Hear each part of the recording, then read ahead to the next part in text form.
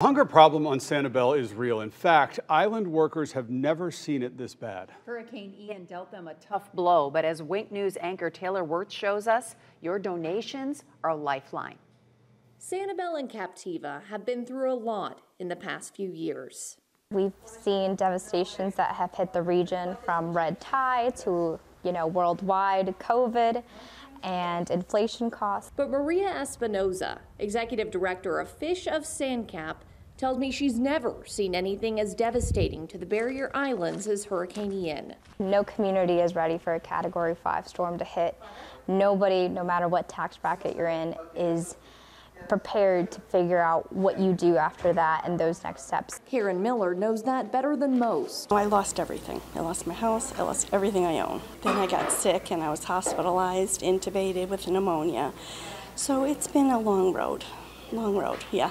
Through it all, Miller says Fish's food pantry has been a lifeline for many, whether it be for fresh produce, canned goods, or even things you can't eat but still need around the house. We just have Jerry's for the grocery store, and the traffic has been really bad, so it's hard to go off the island. Espinoza says they've tried to be a helping hand, not only for the people living on the islands, but those working here as well. They've been dedicated to these islands since before the storm and now continue to work out here after, some of them coming all the way from Lehigh and beyond.